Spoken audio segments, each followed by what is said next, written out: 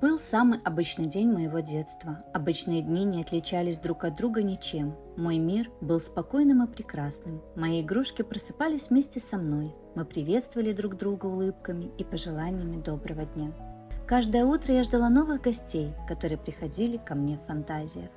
В это утро никто не постучался в мою дверь. Я напрасно открыла окно и ждала гостей. Устав сидеть дома, я вышла во двор. Тишина.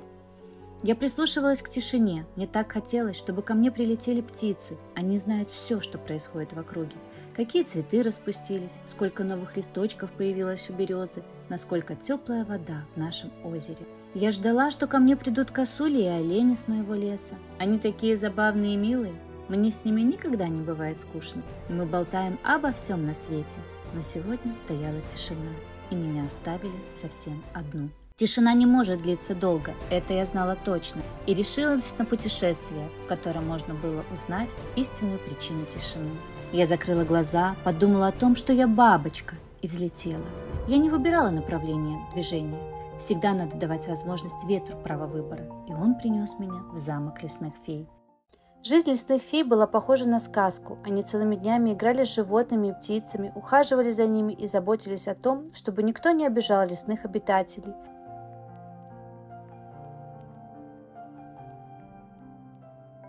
Меня феи встретили очень радужно, любезно предложив мне цветочный нектар и мороженое из лесных ягод.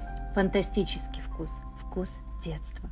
Вдруг заиграла музыка, и феечки принялись кружиться, кружиться. Вместе с ними кружились цветы и травы, деревья и кусты. Все танцевало под музыку леса.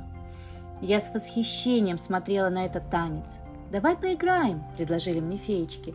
«С удовольствием», – ответила я. Мы весело играли и смеялись, потому что ничто не омрачало наши игры. К нам присоединились звери и птицы. Одна из птиц сказала мне шепотом, «Когда ты станешь взрослой, не забудь про нашу встречу. Помни, что мы умеем радоваться вместе с людьми и не любим грустить. Помни об этом. Я помню об этом всю жизнь, хотя прошло столько времени с момента нашей встречи. Вдруг небо потемнело, и одна из фей сказала, «Наверное, опять люди ссорятся». «Нам надо спешить, чтобы прийти на помощь вовремя», — сказала вторая фея. И маленькие волшебницы двинулись вглубь леса, чтобы найти того, кто делает мир грустным. Они предложили мне присоединиться к ним, и я согласилась. Мы шли по лесным тропинкам долго, очень долго, наверное, целый день, но никак не могли понять, где таится неприятность. Вдруг я увидела темный силуэт мальчика. Он все время передвигался и не подпускал меня к себе. Тогда я сказала очень громко, чтобы он услышал меня наверняка. Что случилось с тобой? Расскажи мне, попытаюсь тебе помочь. Так учили меня мои родители, помогать в трудную минуту людям, и я хорошо усвоила их урок. «Понимаешь, — сказал мальчик в черном, — я поссорился с другом из-за пустяка, из-за игрушки. Я его обидел, и он ушел. Игра перестала существовать, а я остался без друга.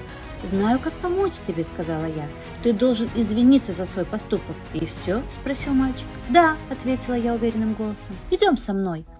На небе засияло солнце. Даже один маленький, но хороший поступок может изменить мир. Все были счастливы. Лес торжествовал. Я услышала голос ветра. «А не пора ли нам домой?» Но моего ответа не последовало. Мне хотелось запомнить события сегодняшнего дня очень хорошо. Ведь завтра тишина может молчать о другом.